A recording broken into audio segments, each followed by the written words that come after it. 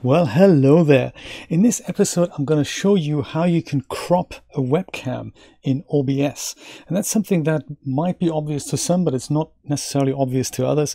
The issue that some webcams have is that they show your face fairly tiny and then a lot of stuff of something that is kind of cluttering up the thing that you're actually presenting. So really, you only really need to present this much of yourself. I mean, it's different when you're showing something widescreen, when you're going full screen, and you, when you're introducing something like I'm doing right now. I'm saying hello to the audience and I'm talking about what this video is going to be about. But then when it comes to the actual presentation, you don't really need to have that much room left and right or top and bottom of you. And sometimes it's just better suited if you crop yourself and crop out stuff that you might not want to be envisioned, like a huge light source, the dirty dishes or the clutter behind your desk and stuff that you don't really want to see.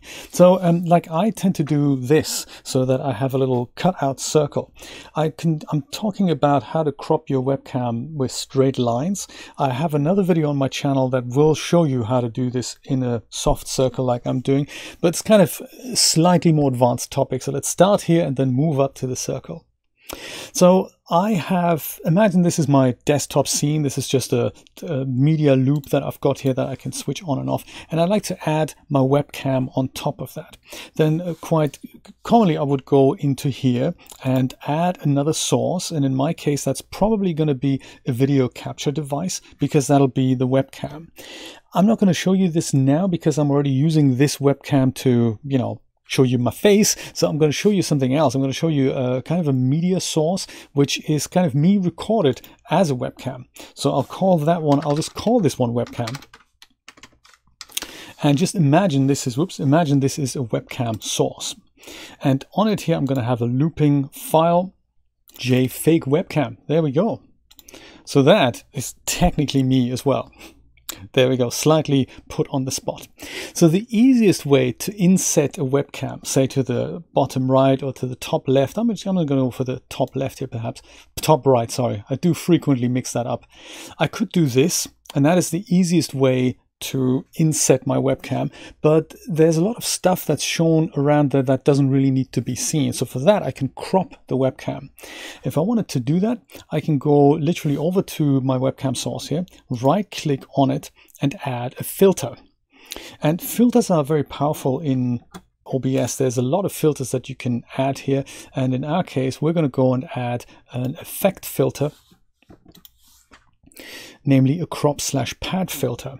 And that's a little bit unintuitive. I'm just going to leave it as crop and pad. It's a little unintuitive, I say, because you you only really have options in pixels here. So you have left, top, right, and bottom in pixels. And you have to kind of guess um, how much you want to take off and then just have a look what that what what the effect of that is. So I'm thinking there's too much room on the left and right. So I'm going to take at least 200 pixels off. That's on the left, perhaps another 200 on the right, perhaps actually another 200. So maybe make that 400, 400 on the left and right, another 400. There we go. We're kind of getting there. We're kind of getting there. It's my, my face is still not as pronounced. I mean, if I just want this as a face cam, I really don't need to show my whole upper body. Also, perhaps the microphone doesn't really need to be in shot. So you see where I'm going with that. So perhaps we'll try 800. Maybe that was a bit much. But yeah, this is this may be a bit uh, too drastic, but you get the idea. Perhaps at the top we can crop another 100 off, and then at the bottom I'm thinking another, at least another 600. Well, that's maybe a bit much. Well, so maybe 400 on the bottom. Or 500.